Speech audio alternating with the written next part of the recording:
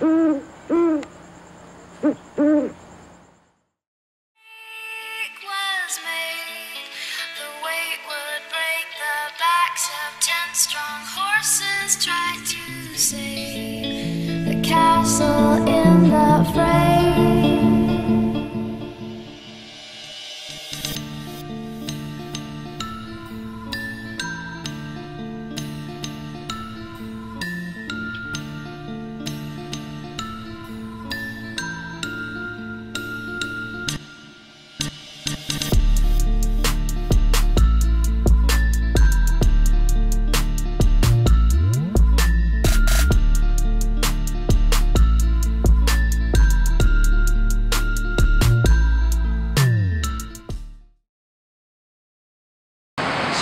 Sino mag-aakala na ang establishmentong ito ay naging dating sentro kung saan dinadayo ng maraming tao.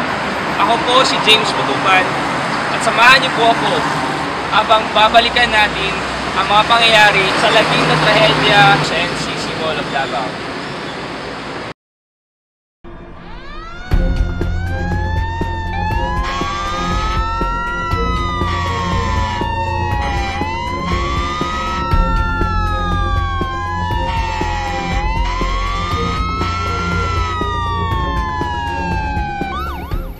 Pasado alas 9 ng umaga, dalawang araw bago sumapit ang Pasko, nang lumayab ang isang sunog sa NCC Mall Davao. Agad-agad namang remusponde ang iba't ibang mga bombero, kapulisan, at 911 para tugunan ang mga pangyayari. Nagsimula umano ang apoy sa ikatatlong palapag ng establishmento.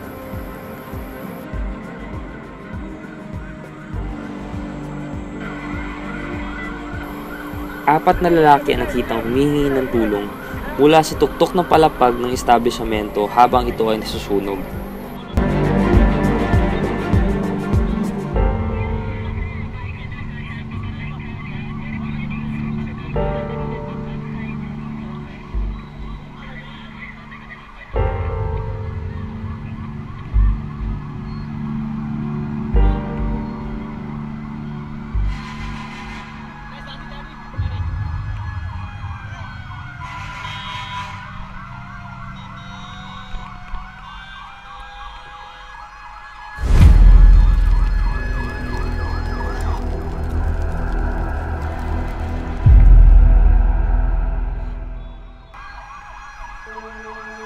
Nakalikas ng maaga ang karamihan ng mga tao sa loob ng mall.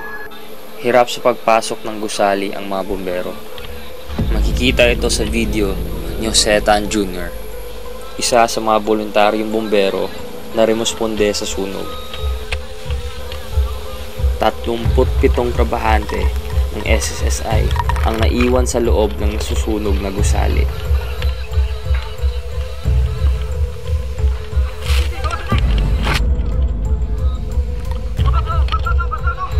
Habang ang kanilang mga pamilya ay nag-aantay mula sa labas ng gusali.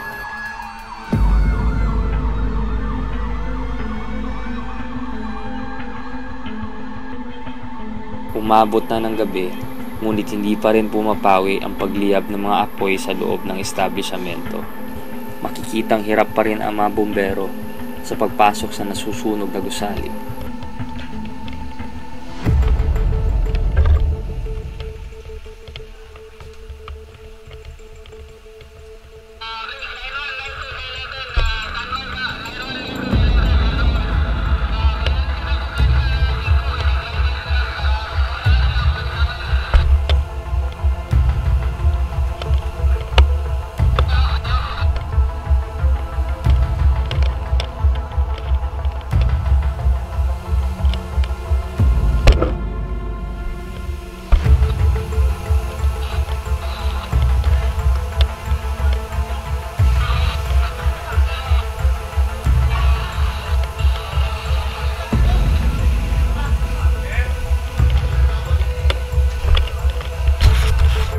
Dumating naman si Mayor Inday Sara Duterte para personal na tingnan ang sitwasyon.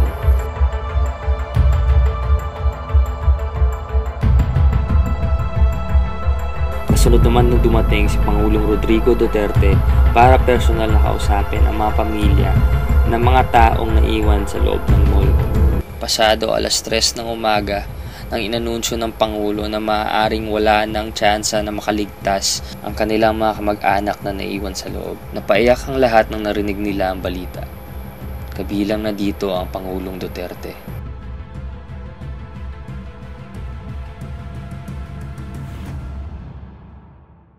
Mahigit 32 oras bago humupa ang sunog. Desyembre 25, araw ng Pasko.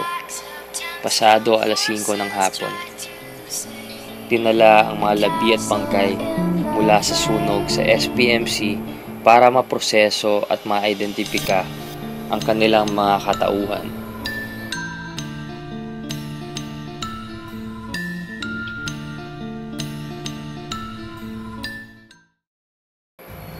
Ilang araw pagkatapos sa mga pangyayari, nagpadala ang NCC Mall Management ng mga banyagang bumbero mula sa Estados Unidos para magsagawa ng kanilang pribadong investigasyon.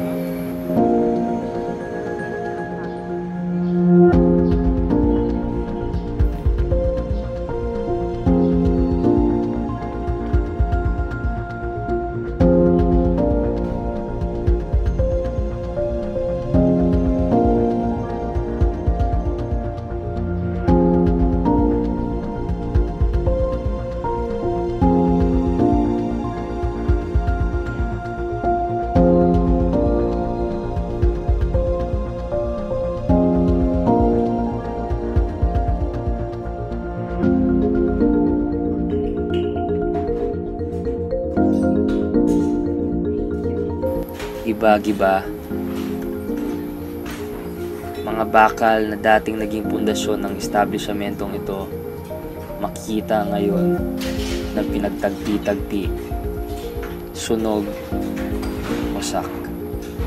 Ito na ngayon ang pamilihan, malayong malayo sa alindog ng kahapon.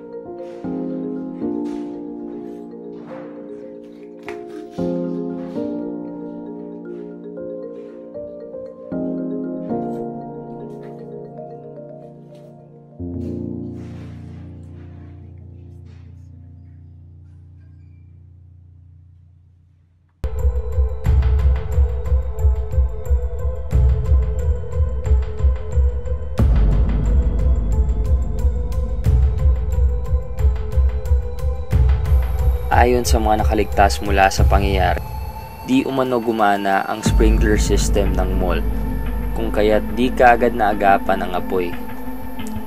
Hindi rin daw tumunog ang alarm kung kaya't maraming hindi nakaalam na may sunog na palang nangyayari. Nakalock rin daw ang mga fire exits dahilan para mahirapang lumabas ang mga trabahante sa loob. Ngunit iba naman ang pinapakitang pahayag ng NCC Mall Management.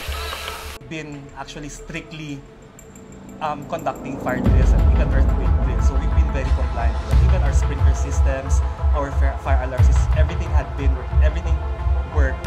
So that I can categorically deny. There's no truth to that. na siyang kwenestyon naman ni Lloyd Angeles, isa sa mga SSI agents na nakaligtas mula sa lagim na trahedya. Wala umanong tumulong mula sa management ng NCC kahit na mga gwardya.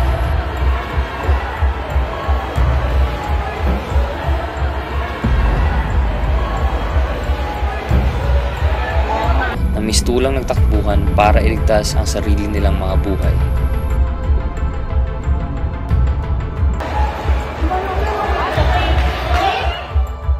Sa aming pananaliksik, napag-alaman naming hindi na bago ang sunog para sa pamilya nagpapatakbo ng NCC Mall Management. Isang Lim Chan Su ang siyang unang nagtayo ng kumpanya. Disyembre 1941, lumipat sila ng kanyang pamilya mula sa Manila patungo sa Cotabato kung saan nagtayo sila ng isang maliit na trading business na di kalaunan ay nasunog.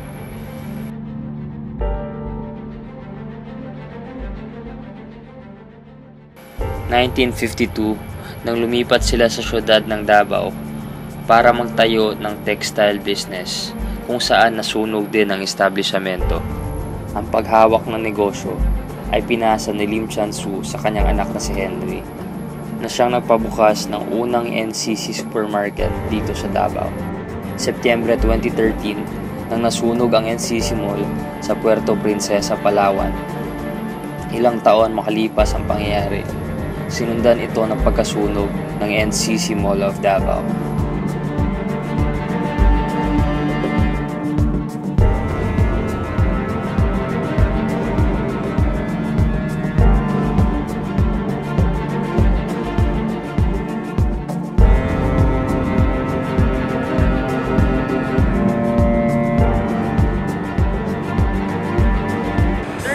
People died that day. 38 families left behind by the tragic incident.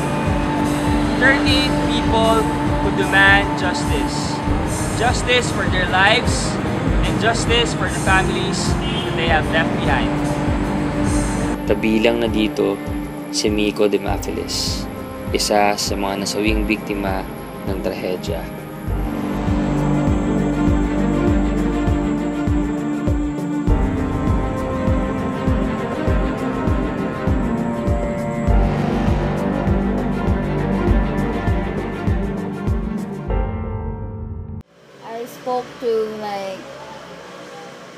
Couple of his friends. Actually, nakalabas na daw siya eh. He went, nagbalik siya. Kasi he's he's trying to save um, friends because um, I heard na daw siya ay pregnant na supervisor nagibalikan niya kasi knowing Miko's structure his tall ano siya ba um, buff so maybe um, he was thinking na you know makasave pa siya or if not it's it's it's dili ko mag-wonder kasi ang nature man gud niya as a person helpful siya so dili siya um, katingalahan nga nun balik siya. Expected. Unta, ang investigation is on our side. Na I'm hoping na walay cover up. Um, government, we're giving like financial aids. Um, the company SSI, mga GoFundMe, like uh, a uh, help. Um, NCCC, yeah, they offer. They tried to call us, but um, we refuse. We refuse to discuss discuss matters with them. Um, we're not open to that, so uh, we ask them to um, discuss the issues with our lawyer. Well, first and foremost, uh, to everyone sa mga sa government, to the BP, not just the BPO industry, to everyone. Um, let let this tragedy be an eye opener. You know, let's um, let's not compromise um, our safety uh, para lang sa with business. Sana, you know, uh, let's ang government they'll you know they'll give importance to safety 37 lives was were, were was were wasted they're still young to the families NCCC can just get away just like that you know dili ta magpadala uh, you know let's not give uh, give in sa money. We're not talking about money here. We're talking about lives na nawala. And uh, I just hope na justice will be served. And let's just pray harder na you know, managot ang dapat managot. Because somebody needs to be held accountable.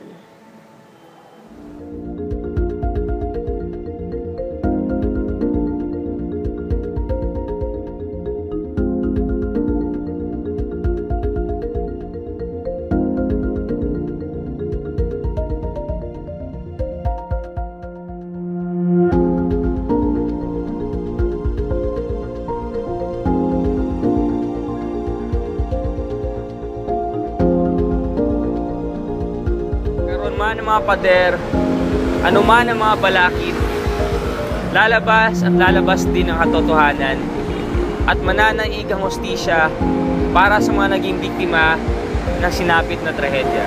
What I assure them is that uh, the truth will uh, let the truth come out. Ako po si James Madukan at sabay-sabay tayo sa pag-ungkat ng katotohanan at hostisya.